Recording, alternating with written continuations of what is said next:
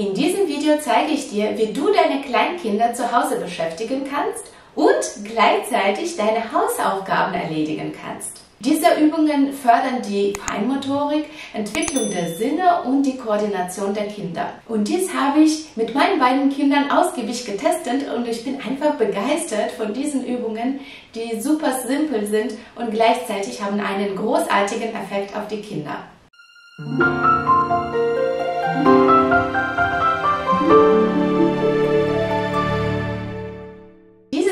Ist ein Teil der Videoreihe Montessori Step by Step, wo ich praktische Tipps und Empfehlungen teile, wie du mit Montessori zu Hause einfach und schnell anfangen kannst. Nachdem wir im ersten Schritt die vorbereitete Umgebung geschaffen haben, empfehle ich in dem zweiten Schritt diese Übungen, die ich in diesem Video jetzt erwähne, einzuführen. In der Montessori-Pädagogik nennt man das Übungen des praktischen Lebens. Das sind die Übungen, die für uns Erwachsene eigentlich Alltag sind und die unsere Kinder äh, von Tag zu Tag beobachten, wie wir das machen. Für die kleinen Kinder kann man diese Tätigkeiten in zwei Kategorien unterteilen. Erste Kategorie ist Pflege der eigenen Person und zweite Kategorie ist Pflege der Umgebung.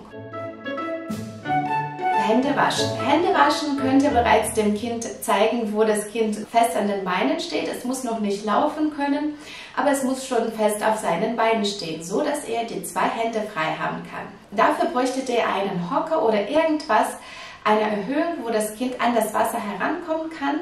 Wir haben einen Ikea-Hocker, was super für diese Zwecke passt. Äh, Andreas kommt sehr gut an das Wasser dran. Andreas kann selbstständig Wasserhahn aufmachen und seine Hände waschen. Zeigt eurem Kind, wie ihr die Hände wäscht. Und das ist die beste Methode, dem Kind etwas beizubringen. Dann bietet es dem Kind an, selbstständig zu probieren. Mit ein paar Mal, mit ein paar Übungen wird das Kind besser und besser. Und schon kann euer Kind die Hände selbstständig waschen. Und nach dem Waschen könnt ihr dem Kind zeigen, wie das Kind die Hände mit dem Handtuch abtrocknet.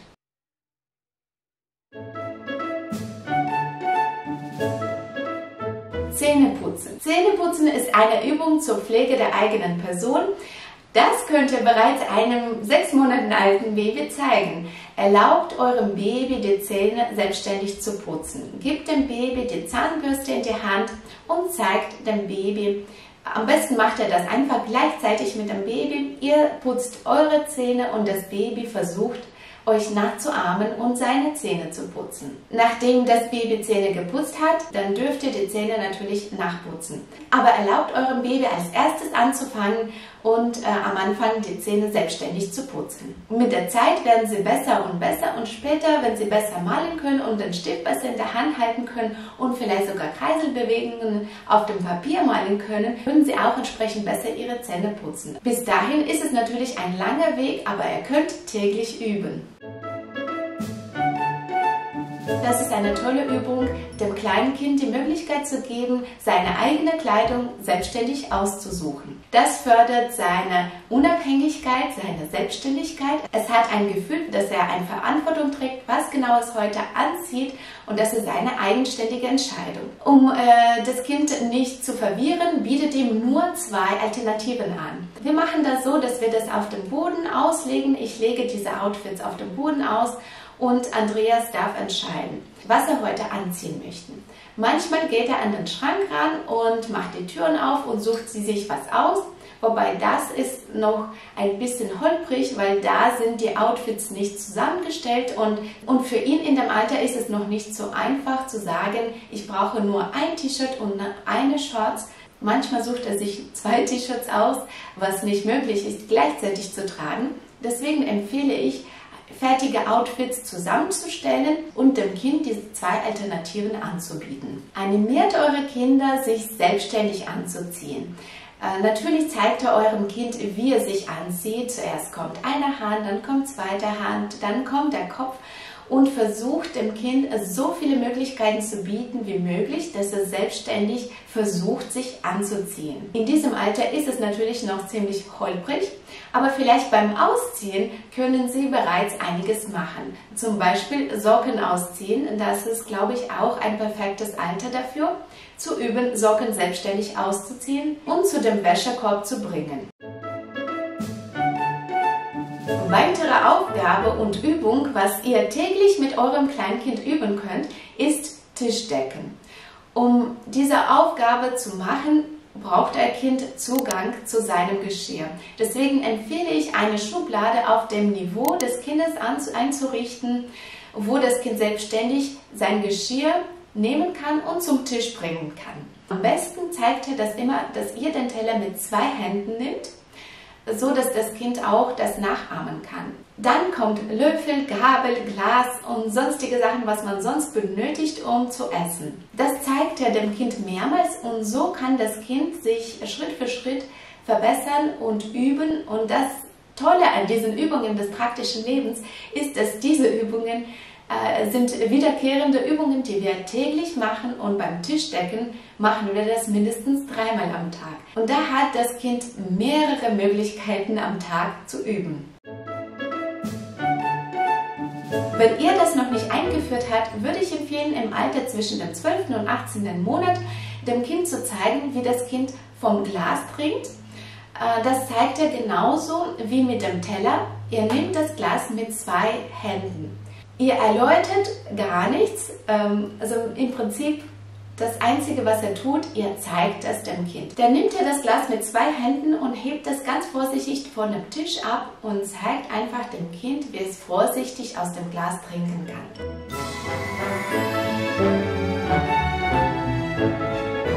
Am Anfang bräuchtet euer Kind natürlich ein bisschen Unterstützung. Lest eure Hand nicht weit weg von dem Glas des Kindes. Ihr könnt das Glas einfach von unten etwas absichern, falls euer Kind das Glas runterwirft oder das Glas umkippt und so weiter. Eine Empfehlung ist, ein Glas in der Größe anzuschaffen, was für die Kinderhände passend ist. Ich habe hier Ikea Schottbecher, die sind perfekt für die kleine Hände und wenn ihr damit anfängt, äh, empfehle ich die zu nutzen. Am Anfang empfehle ich nur ein bisschen Wasser in das Glas einzuschenken, wirklich, äh, es muss ein Drittel äh, vom Glas gefüllt sein, aber nicht mehr, damit das Glas nicht zu schwer wird und äh, B, damit, wenn das Kind das ausschüttet, ist es nicht so viel Arbeit für euch. Deswegen empfehle ich, äh, wenn das Kind erst anfängt zu üben, aus dem Glas zu trinken, wenig Wasser und entsprechend ein bisschen Unterstützung eurerseits. Wenn ihr eurem Kind noch kein Besteck eingeführt habt, ist es auch ein perfekter Zeitpunkt, dem Kind zu zeigen, wie man mit dem Besteck isst. Gebt eurem Kind Löffel, gebt eurem Kind Gabel, zeigt eurem Kind, wie das äh, mit Gabel und Löffel essen kann und ihr werdet staunen, wie schnell das Kleinkind das lernen kann.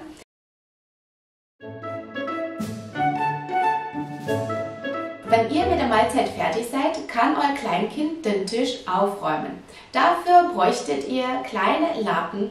Ich würde empfehlen, die Lappen zuzuschneiden, wenn äh, der Lappen viel zu groß ist ist es unpraktisch für das Kleinkind. Zeigt eurem Kind, wie es den Tisch sauber machen kann. Am besten zeigt er Bewegungen von oben nach unten.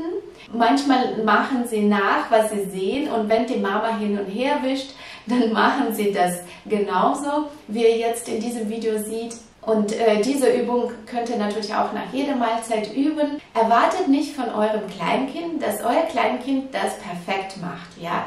Es geht hier nicht um die Perfektion, es geht hier um die Übung an sich, um den Willen des Kindes, diese Übung zu machen und äh, einfach um die äh, Koordination der Bewegungen. Das Kind wird besser und besser von Tag zu Tag.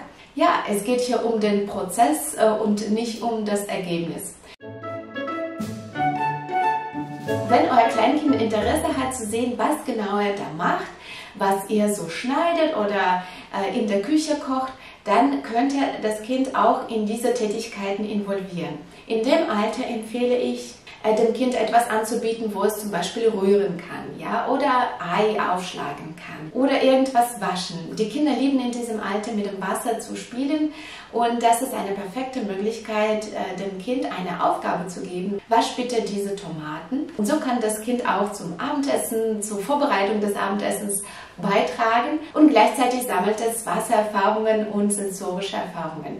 Dafür bräuchtet ihr irgendwas, eine Erhöhung, wo das Kind an die Fläche von, an die Küchenfläche drankommen kann. Wir haben ein Montessori Learning Tower, das haben wir selber gebaut aus Ikea-Stühlen.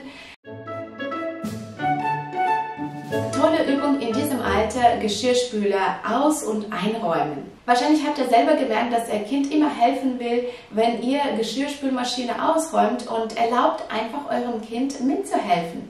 Natürlich müsst ihr äh, zuerst die Messer und äh, scharfe Gegenstände entfernen, so dass das Kind keinen Gefahren ausgesetzt ist, sich zu verletzen. Ansonsten ist es eine perfekte Möglichkeit für das Kind, seine Koordination zu verbessern, die Teller zu dem richtigen Platz zu bringen und euch zu helfen. Euer Kleinkind wird richtig glücklich sein, wenn es bei der Aufgabe mithelfen darf.